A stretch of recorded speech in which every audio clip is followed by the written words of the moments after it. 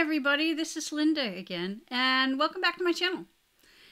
Today I thought we would have a chat about service accounts because I think that a lot of people either don't realize that they could be using a service account when they should be using a service account, and then there's other people that try using a service account when in fact they shouldn't be using a service account.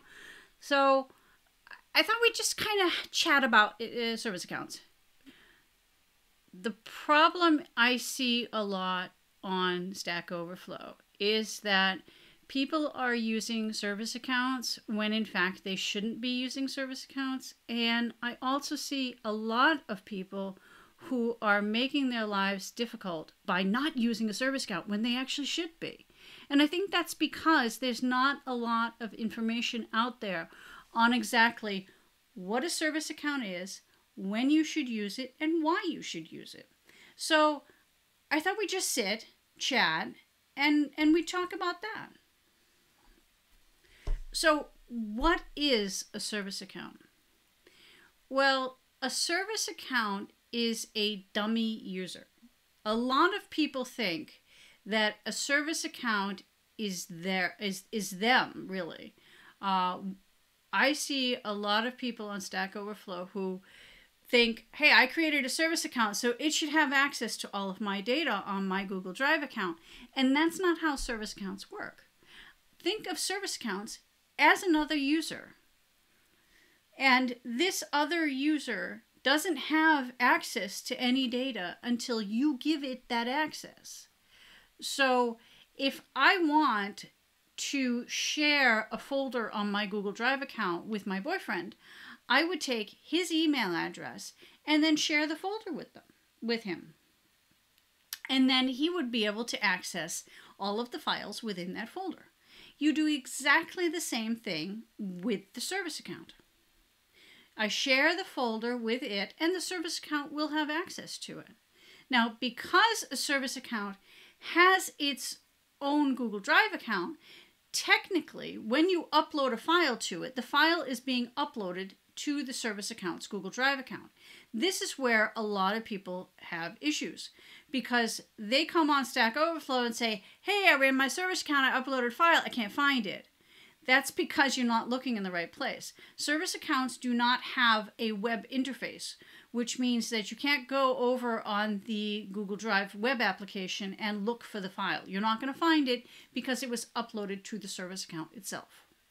If you then do a file list with the service account, you'll get a list back of all the files that you mistakenly uploaded to the service account's Drive account.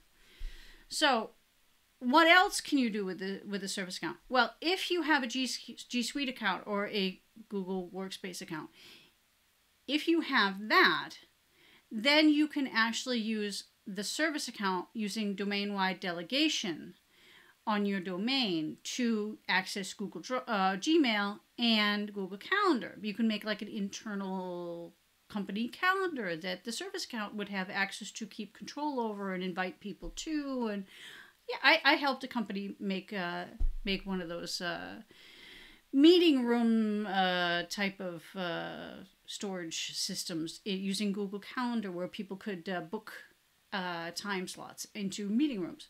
That was that was a very good use for a service account. But unfortunately, over the last couple of years, Google has been locking down service accounts so that you can only use Gmail and Calendar if you have uh, G Suite or Google Workspace accounts. You you can't use it with a normal um, Gmail account anymore. There's several reasons for that, which I fully support, but it can make life a lot more difficult for developers. Uh, another thing you should know about service accounts is service accounts do not work with all Google APIs. Uh, it does not work with YouTube, and it does not work with Blogger, for example. Those are the two that I am aware of, other than uh, Gmail and Calendar limitations. So that's what you should know about service accounts to begin with. So, when should you consider using a service account? You should consider using a service account if you are accessing internal company data. So if this is something internally that you control, you the developer control or your company controls, you should use you should really consider using service account because it makes your life a lot easier.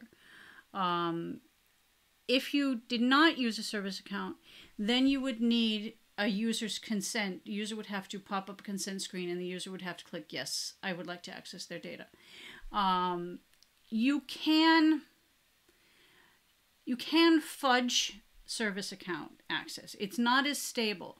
But what you could do if you wanted to access a, like a Google Calendar and you did not have um, G Suite, what you can do is use the normal OAuth 2 method, request access, like for example, created on my account, request access, get a refresh token back. Store that refresh token someplace in your application and then use that refresh token whenever you want to access it. In this way, you would be pretending to be that specific user, which is kind of like using a service account. So again, the, if it's internal data, you can go ahead and create a a service account and use a service account. It's it, they're very good. For example, if you're doing anything like a cron job, they would be really really nice for for cron jobs because then it'll just it'll just go ahead and run. Um, I've set up several cron jobs for companies where they had their backups uh, were moved to a directory every night, and then we had a cron job running to upload them to the server.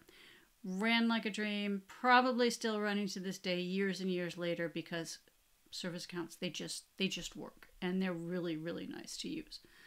Um, so if you can use a service account, I highly recommend using one.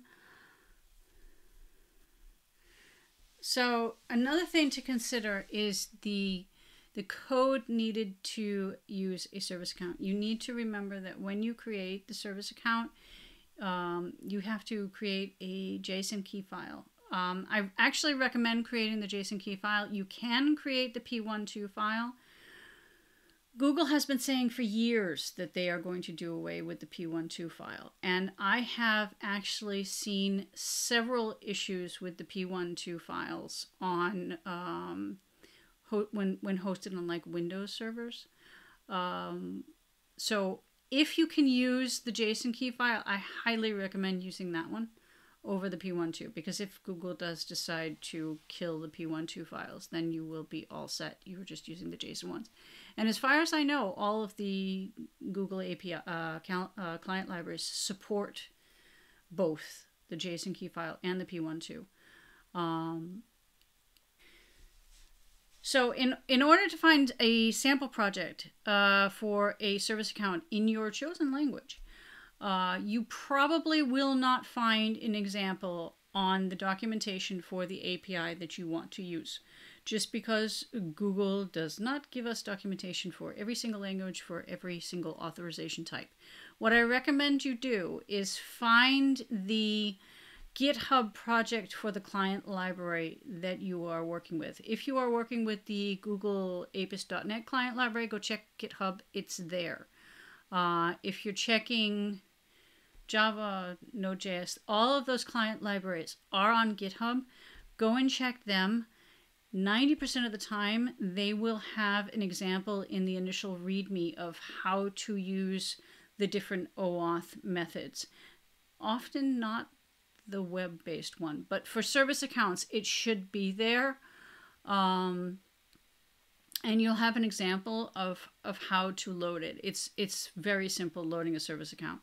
Uh, the only thing you need to consider is which level of scope to grant the service account personally, because of the fact that I use service accounts internally and it's data that I own and I control, I almost always give the service account full access, full drive access. I don't see any reason to limit it.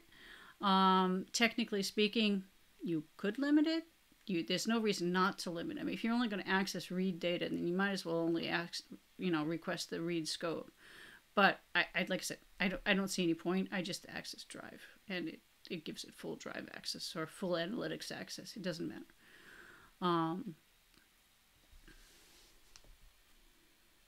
one of the most important things I think we should discuss is how to grant a service account access to your data. Unfortunately, for Gmail and um, Calendar, I can't help you too much because, like I said, recently Google made some changes that says that you can only use them with uh, G Suite or G, uh, Google Workspace accounts. Um, and I haven't actually had access to a workspace account in a number of years. But as far as like Google Drive, if you want to give the service account access to your Google Drive account, um, you can't give it access to root, but you can create a directory on your personal Google Drive account and then take the email address and add the um, service account as a user, share it with it, and it'll have instant access. If you want to grant it access to Google Analytics data, for example, you would take the service account's email address and again go into Google Analytics under the admin section and add it as a user there. I think this works the same with some of the other APIs. Any API that you can add another user and grant them access, it should work with. There's there's quite a few of the other APIs that you can add users to. Um, there's the Webmasters Tool API you can add a user to, and I'm pretty sure it'll work with that as well. Then there's also AdSense. I think you can add another user to AdSense as well. I need to test each one of these APIs because if the API, when you add a user, that the user actually has to confirm your access, then the service account's not going to work. That's why it doesn't work with Blogger. Because when you add somebody as a user on your Blogger account, um, they have to confirm it. And the same with YouTube. When you add somebody, they have to confirm their access. Um, so that doesn't work with uh, service accounts because the service account won't approve its access. It won't grant it. So you just need to figure out how to share access to it or how to give somebody else permission and use the service account's email address, and it, it should work. Um, if you find an API that you can't get it to work with, please let me know because I would love to build up a list of APIs that we know for a fact service kinds either work or don't work with. Because I think that would be really nice to have a list because Google isn't giving us a list. We have to figure this stuff out for ourselves. Um, another way to find out whether or not a service account works for your API is to go to the API documentation and look under authorization. If it only says OAuth 2 and does not mention service accounts or domain wide delegation, then you can almost 100% be sure that it doesn't support it. Because honestly, we do not document things we don't support. We only document things we do support. So if they did support it, they would have documented it. But that's just my opinion. Okay, I think I have chatted enough about service accounts. Um, I hope you learned something.